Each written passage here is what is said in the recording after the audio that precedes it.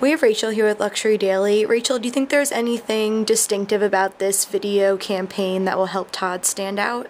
Um, well, the thing is, I think it's very different from what Tod's usually does.